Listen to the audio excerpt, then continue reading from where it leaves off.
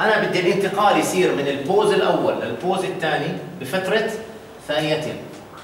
أو على فكره 2 time units ما بعرفش إذا كأنه هو بخزن هاي ال second. هو بيعتبرها تمشي step steps قديش steps بينهم هذا كلكم familiar بهذا ال instruction بيعمل creation ل vector array بالحالة هاي هي آه، راح تنتقل من zero لاثنين في فيكون 20 step في الثانية. بالضبط. فراح يصير عندي 40 وراح يطلع عندي 41 ليش 41 راح يكون؟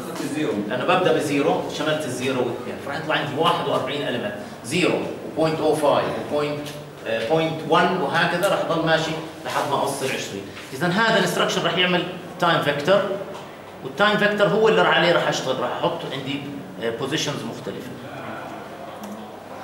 هاي ال time vector وال transpose حوله ل column vector هو كان row vector الكل فاهم هذا شو طلعوا عليه مضبوط حتى تكونوا فاهمين شو اللي عملناه. عملنا إحنا الزمن قسمنا الزمن عملنا discretization للزمن. قسمنا الزمن لفترات تتكون من 50 millisecond كل واحدة من هدول 50 millisecond وأنا الآن بدي أحرك الروبوت ب steps مقدارها 50 millisecond من واحدة للثانية. فراح اصير احركه هون فراح يكون في له position هون و pose هون و pose هون و pose هون في كل واحدة من هدول. بس أنا ما راح أشتغل في ال inverse kinematics راح أصير آخذ لكل Q Q جديدة وراح أحركهم. فاللي راح يصير الآن راح نيجي نقول في انتقالي من T 1 من T initial ل T final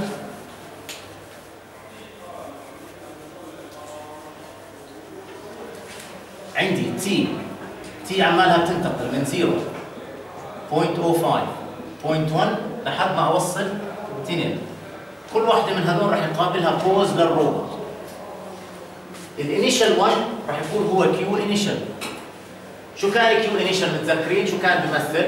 بيمثل 0.4 و0.2 و0 translation و rotation حوالين الاكس اكسس بقدر 180 درجة. وال Q final اللي راح يتحقق هون. طبعا هذا راح يكون هون. vector بيمثل ال joint space فهاي راح تكون Q 1 initial لحد Q 6 initial وهذا راح يكون Q final أو Q 1 final لحد Q 6 final شو بدي أحط هلا بينهم؟ بدنا أحط كل هدول أغيرهم بحيث إنهم يتغيروا حسب الزمن. هلا هذا راح نشرح فيه كيف بنعمل هدول. بس لازم يصير في عندي هلا حركة من Q 1 initial ل Q 1 final ومن Q 2 initial ل Q 2 final من Q 3 initial ل Q 3 final هلا راح نخلق structure جديدة. الاحداثيات قديش احداثيات Q initial 26 لا لا Q initial إيش احداثياتها؟ إيش ال dimensions تبعت Q initial؟ واحد لستة هيك بتمثل ست زوايا وشو احداثيات Q final؟ هلا لو اجيت هذول عملتهم كلهم rows في matrix كبيرة سميتها Q 41 شو راح يكون فيها؟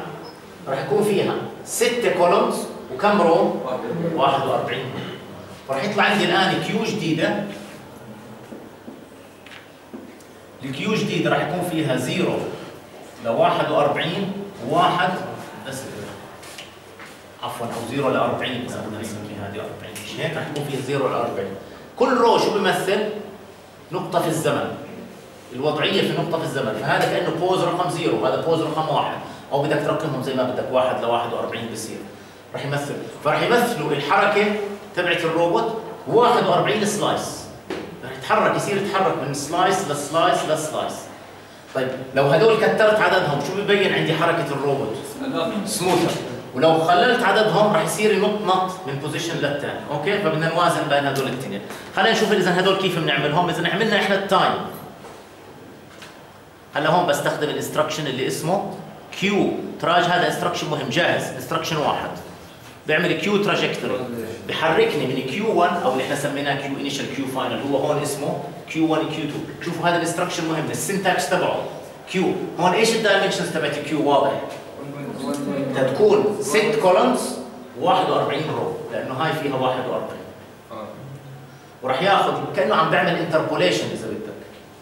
interpolation بين Q 1 و Q 2 أو بين Q هلا هون اسمه 1 وهناك اسمه 1 Q 1 1 ل Q final عم بحركهم من هون على T إذا ال dimensions تبعت q لازم تطلع 41 row في ست columns من هون. هذا instruction واحد باخذه زي ما هو.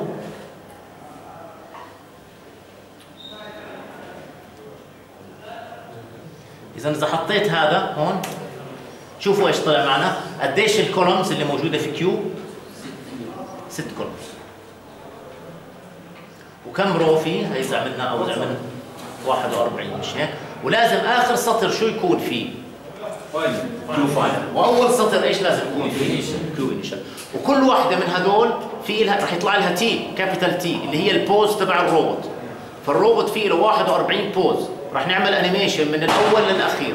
بس بينهم المتحرك متحرك على 41 آه step في 41 step راح اترك هلا هاي بنرجع لها بعدين نشوف كيف شكلها. بس راح افرجيكم الآن ال plot الأول شفناه وال plot الثاني. هلا راح نشوف. هلا ال instruction P560 كوبي هو انستركشن بيعمل الآن عماله بيعمل plotting لل 41 حاله فهم مباشرة من q لأنه q فيها rows أخذ أول واحد عمل له plot أخذ الثاني عمل له plot مرة ثانية نرد نشوف إحنا كان ما أظنش بنقدر نصغر الزمن إذا نصغر الزمن بدنا نصغر steps فبدال ما تيجي تكون 41 بنعمل مثلا 200 ال row اكبر مرة ثانية إذا حبيتوا تشوفوا